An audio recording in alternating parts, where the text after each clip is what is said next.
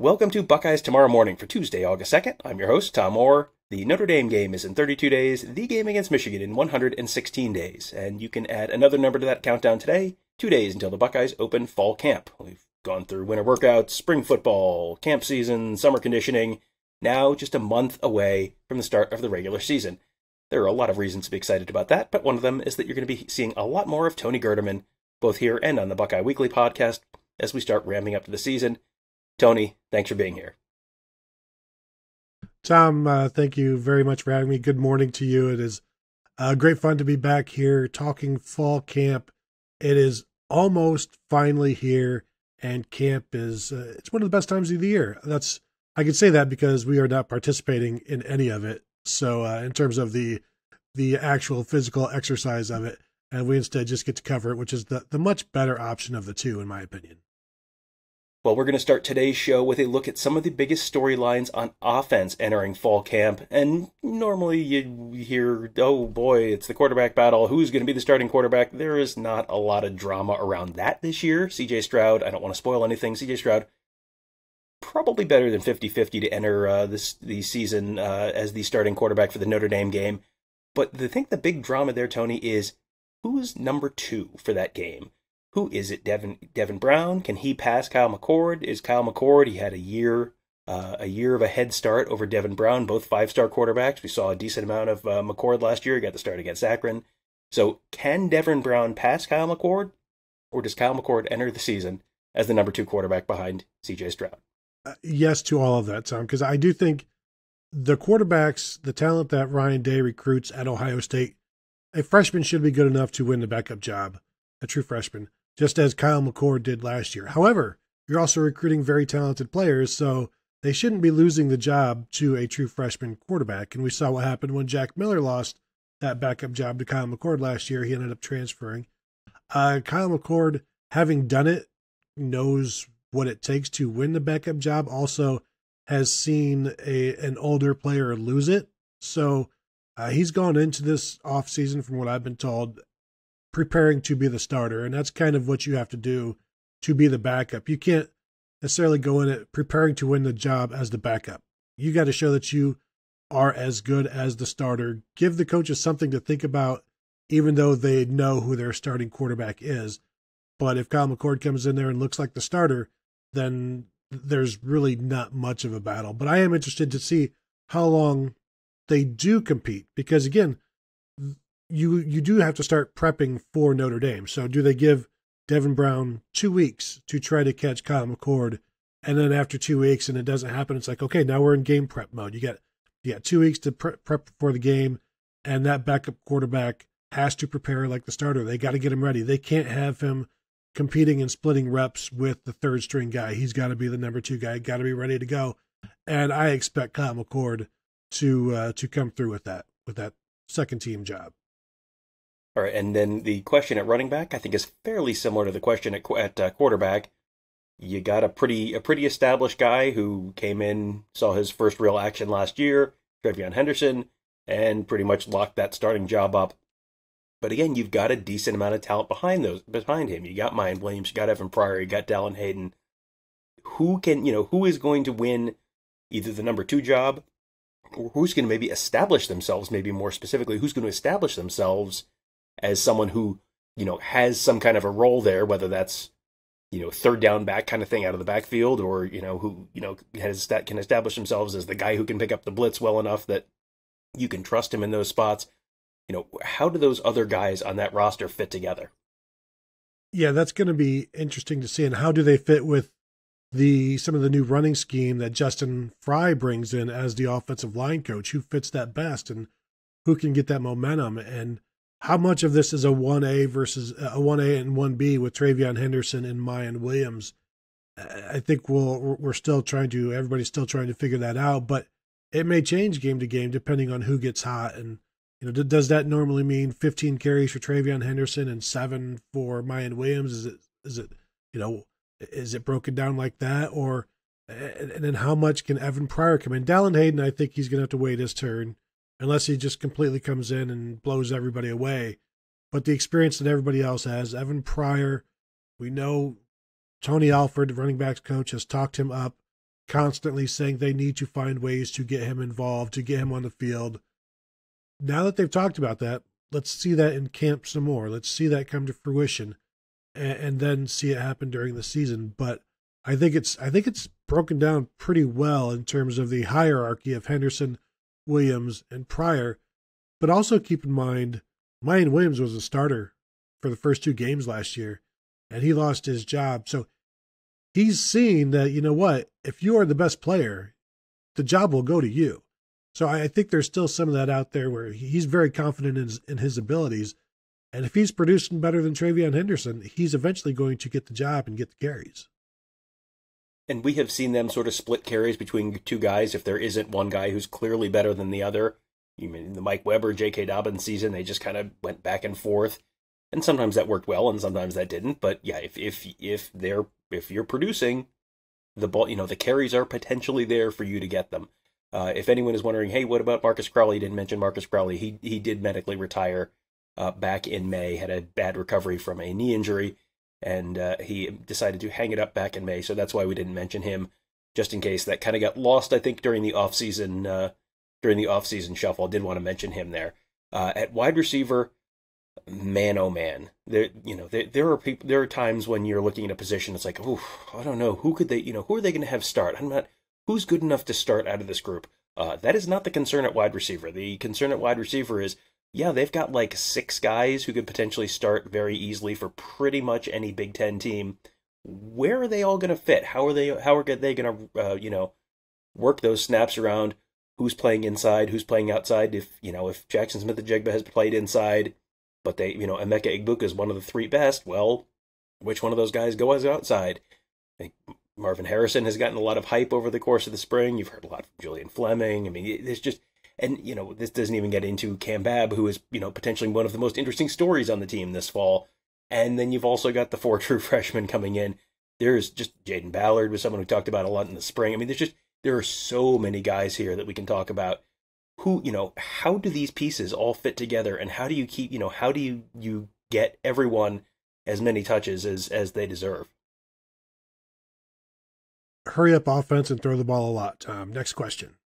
Uh, and really, uh, that's that's a joking answer, but it's also a serious answer. The best way to get a bunch of people touches is to have as many snaps as possible.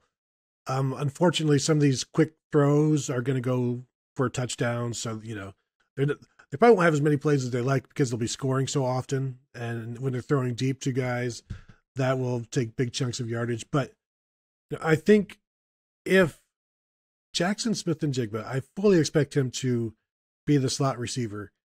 If he isn't, and they put Emeka Egbuka there, that speaks volumes to me about how they feel about Egbuka. But I, I still expect Smith-Njigba to be that guy inside. Marvin Harrison, of course, at the X. I, I still think it's Julian Fleming at the Z to start out with. And then Emeka is the fourth guy in. And wherever you want him, you can put him wherever. And if he needs to go in the slot, then Jaxon Smith-Njigba can go wherever else. Like they can all, as Brian Hartline has said multiple times over the offseason, they can all play every position.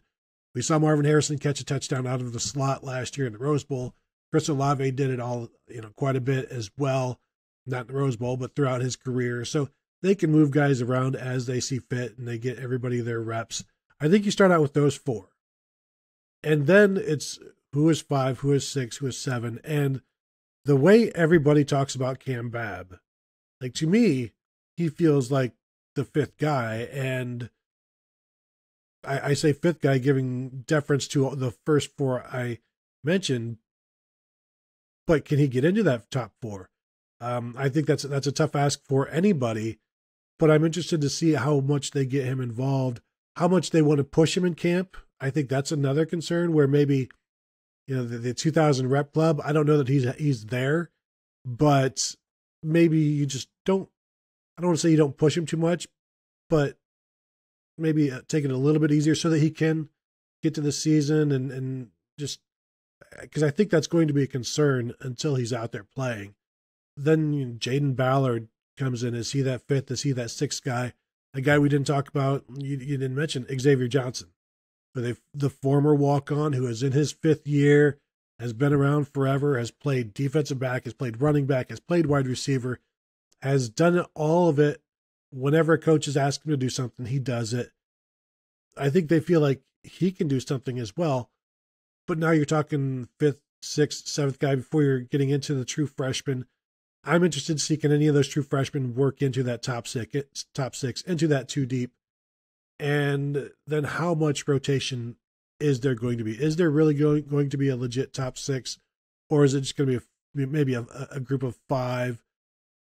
But you know, Jayden Ballard in his second year, Xavier Johnson being a vet that he is, I I think there's there's possibilities. I think certainly there will be more rotating this year than than last year and, and the year before.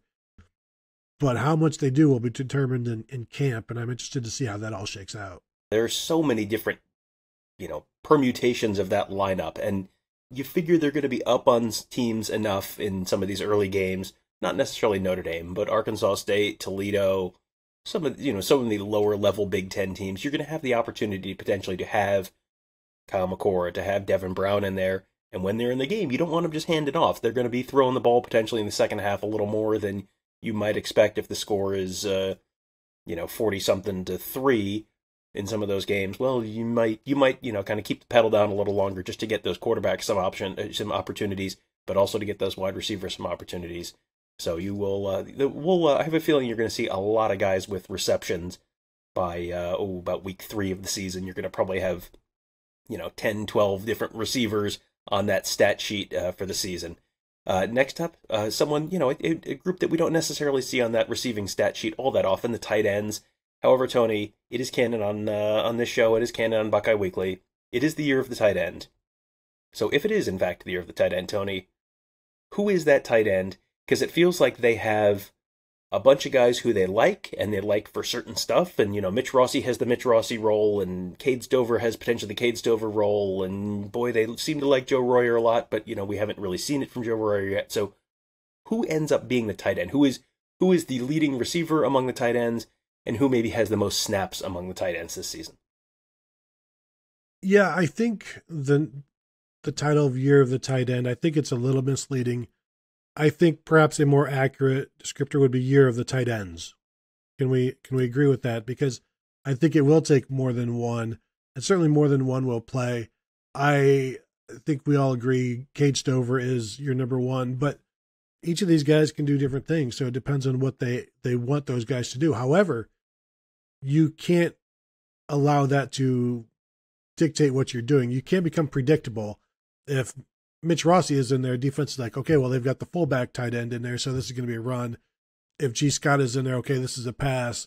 Like they need to be multiple with their different guys, and you can't just pigeonhole guys. So I think that's where this camp you got to figure out who can do what, and if if somebody can't do more than one thing, it's going to be hard for them to get on the field during the season. If you've got a guy that can do everything, now you can play in any any scenario. You could be all you could be they're in there all day in 12 personnel and never have to leave the field because you can block, you can catch, you can s- spread out, you can, you know, spread all the way to the sideline as we've seen Jeremy Ruckert do in the past and uh, and other tight ends. So I think this fall camp for everybody is showing the versatility, but also it still comes down you got to be able to run block and pass block and and I think catching the ball is it is what it is but they're going to put their best blockers out there because this is an offense that can throw the ball with anybody, but has questions about its toughness and its physicality. And I think some of those questions will need to be answered right out of the gate against Notre Dame. And speaking of good blockers, let's talk a little offensive line. Uh, it feels like the top five, your starting five on the offensive line, I think it's just kind of I think we came out of the spring game going, huh, okay, I think I know who the starting five is. The big question in the offensive line is, and then what? Who's behind the starting five? Because you're feeling pretty good about about you know Paris Johnson and Matt Jones and Luke Wypler and uh, Donovan Jackson and Dawand Jones. It's like okay, that's good. You're you're very happy with the top five, and then what? And it feels like there are some spots they are kind of comfortable, and then there's some spots where you've got guys who they like, but who are coming off of injuries. And it feels like, you know, the big question in the offensive line is you've got your five. Can you come out of fall camp with feeling pretty good about the next five, too? Yeah, we've talked about a similar situation in the past uh, recently. I don't know if it was Buckeye Weekly or is this show where is this team is this just a defense of strong safeties? Like is this offensive line just a bunch of guards that they need to put into tackles in terms of the backups? Like is Josh Fryar is he a guard? Do they need to put him at tackle? Enokk Vimahi has played guard and tackle throughout his career, but is more of a guard body type in terms of height. And so is is he a guard that they have to put at tackle, or are there guards that are developed or tackles that are developing like Zen Michalski? You know, is Ben Christman doing what he needs to do, and do they get anything out of these freshmen? So I'm I'm really interested to see because we keep talking about Josh Fryar and Enokk Vimahi being six and seven, but if they are, they can't both be guards, you know, because the you want them to play different positions. So if they are six and seven, which one of them is a tackle, which one of them uh, is a guard, and how much are the young offensive tackles pushing any of those guys? Grant Toutant, who has been around now for a while, but has been low on the totem pole. Guys like that. We've heard some good things about Zen Michalski, so let's see what happens there. I know we both really liked George Fitzpatrick in the spring game, playing uh, some left tackle there. I, I think he's one to watch. But then again, is the third tackle Donovan Jackson, who is the starting left guard? That's that's another question, which is that might be the answer, but you know you still need some tackles to to develop in the in in the two deep. And again, where what are they doing with Fryar and Vimahi? I think you got to split them up.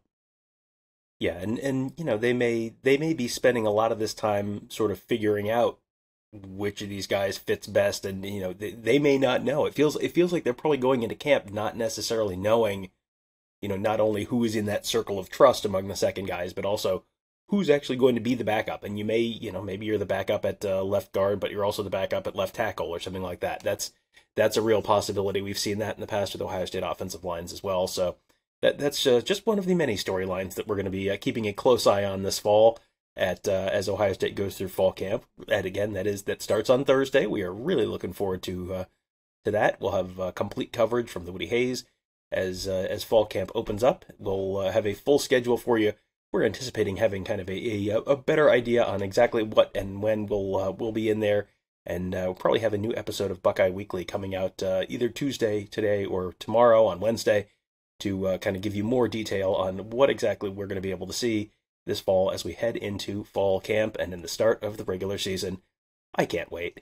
Uh, you, uh, if you want to hear much more about this team, and I, if you're listening to this, I'm guessing you do. Uh, make sure you are subscribed to this show, the uh, Buckeyes Tomorrow Morning Show, wherever you're getting your podcasts. Also, make sure you're subscribing to Buckeye Weekly. Tony and I do a uh, very in-depth, uh, in-depth coverage of the team. Lots of uh, insight and analysis on when we talk to the players and the coaches. Hey, what did they have to say? What did we learn? What did we hear? What did we see? all that kind of stuff.